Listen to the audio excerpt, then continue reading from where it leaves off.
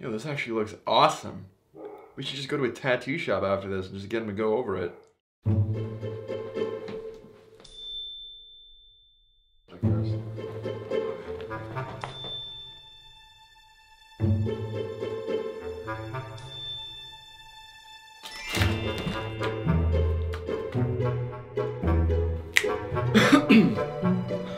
so good, so good. It's, What's up, everyone? Uh, it's See, Peter. you see the uh, the issue is y- you need to have more bass in the voice when you do it. What's up, everybody? Not not so much what's up. Like you need the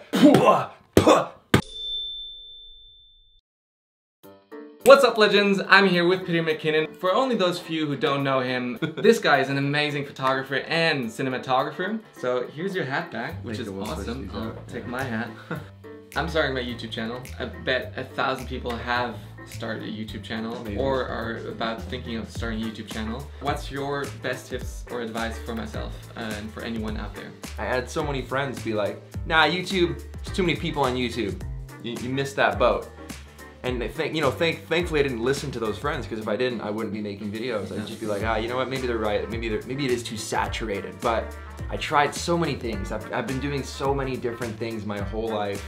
Always been a photographer. And it's funny because it was, it was in front of me the whole time. But I think it was just like finally accepting that like, dude, this, this is what you're good at. Like, pick it up, start shooting, and like be relentless with it. So, you've had a crazy last year. You started out in 2017. You posted your first video. Yeah. What's the secret behind getting 1 million in less than a year? Okay, number one, this is what I struggle with the most. Don't overthink it. Don't overthink it. You get in your head way too much. I get in my own head way too much. I think myself out of ideas. I think myself out of doing things. Uh, I think myself out of being productive because I'm just thinking. I'm just sitting here thinking about how I can do something. Just stop, stop it, and get going. And I know everybody says that, just get started as a Roberto Blake thing. Yours like create something today, even if it sucks. Mine's done is better than perfect. Everyone's saying the same thing just in different ways because everyone has struggled with the same thing. Like we're not trying to sit here and tell you that like we've figured it out. We haven't. But these are the things that we tell ourselves and help other people with to help them get started, to help you get started. And that is my biggest advice is just stop thinking about it. Like if you have a good idea, just do it. And, then if it sucks, that's fine because you still got started, right? So that is uh, that is my biggest advice is stop thinking. Second is be be consistent. Be consistent and persistent. Those rhyme, that's great. I actually like that a lot. That'd be a good t-shirt. Trademarked. That's mine. But being consistent is key, uh, and I like that too. Let's say Netflix didn't exist, right? And we still had to watch TV shows uh, weekly. Let's say an episode of 24 came on back when it was in the heyday, and that was on a Monday. And then you're looking forward to next Monday when 24 is coming back. But you know what? They just skipped five weeks, and then 24 was on, and then it was on for like four days in a row, and then it was gone for a month. You'd be like, what is happening? you, you just can't fall in love with it. You can't get into it. You can't get on board. So consistency, being consistent with your posting times and, and committing to doing this and starting that channel is, uh, is something that's really gonna help you guys out, really gonna help your, uh, your channel. Now that you're so famous, it looks like everything you're doing is is just working out. Is failure still part of your vocabulary? I think if you don't fail, you're not doing it right. To be honest, I think you should be failing uh, often. But it's important. It, it teaches you it limits and, and shows you like the limits you need to, to pass. Nobody ever made mistakes. Life would be really boring. That's true. Yeah. If you only try to succeed, then you're limiting yourself not to fail, which your failure could eventually become your greatest 100%. success. Yeah. never be afraid of not getting it right or failing or not getting the part or not getting the job. Like it's just one more notch in your belt, but you're still gonna wear it. That it's a long piece of leather. Mm. There's tons of room for more notches. Nobody sees the like 17 plus years of work that I've done before today where you finally stumbled upon a video of mine. What happened before you started your YouTube that motivated you to start that? Yeah, I, I owned and operated a leather business. And I had like a full on, in this room, I had like a massive leather workshop. I had it all. It was me trying to just find an outlet for my creativity. I went as hard as I could because I thought, all right, like maybe this will be my new career. Maybe I will be a leathersmith and I'm perfectly fine with that.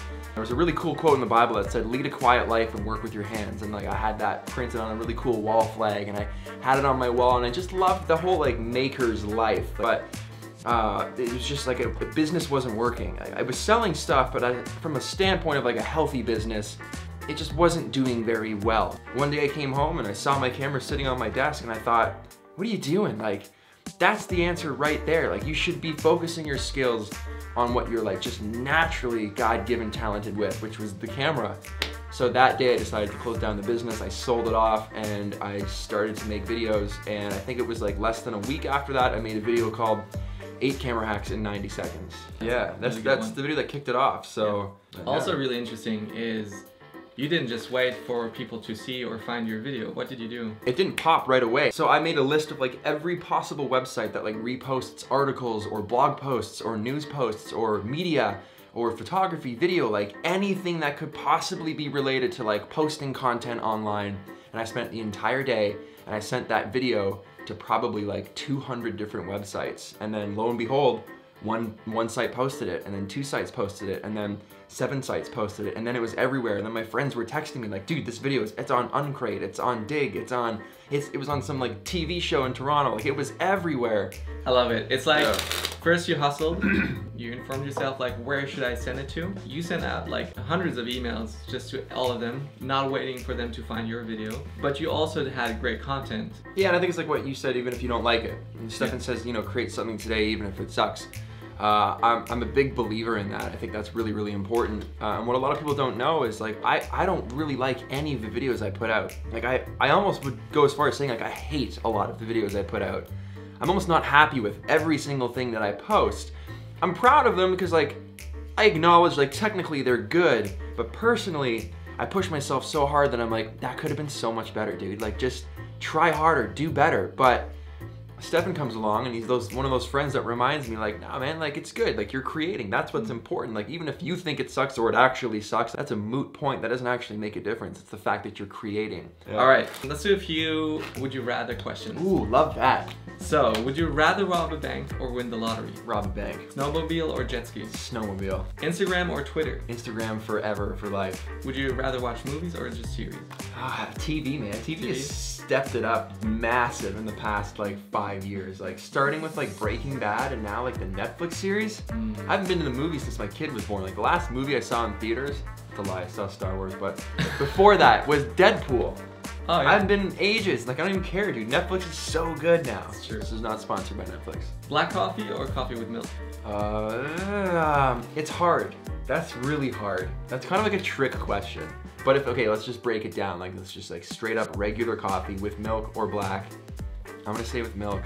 Just like to sit and enjoy it. Yeah. Don't judge me. Mountains or an island? Mountains for sure. Um, car or bicycle? Uh, bicycle. Yeah, that'd be fun. Helicopter or uh, airplane? Uh, helicopter. Hang my feet out, 100%. First class or private jet? Uh, I've never been on a private jet. I'm gonna say first class. First class or no class. Winter or summer? Uh, ooh, mm, summer. Summer? Yeah. Shorts or pants? Uh, I don't own a single pair of shorts. I've been wearing pants for like 10 plus years. Shorts disgust me. Absolutely hate them.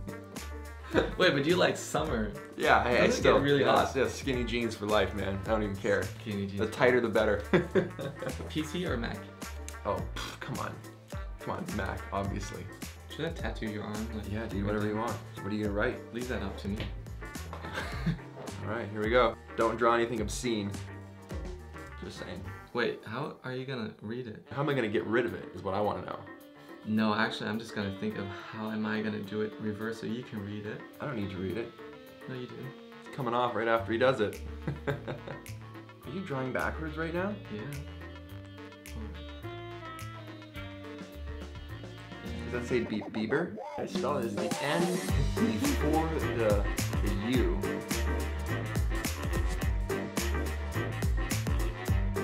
Actually looks awesome. We should just go to a tattoo shop after this and just get him to go over it. Look at this guy with a Sharpie, just backwards. I would actually get this tattoo, that's what's funny. All right, thank you, Peter. That thank was you. awesome. Yeah, man. And if you haven't already subscribed to his channel, if, actually, if you like this video, please. Oh no, I got, I got okay, this. I got this. You, you right. Hit that like button if you like this video. Smash it if that's something that you're into, 2018 style. Subscribe if you haven't already, and and we'll see you in the next episode. Did you drink my coffee?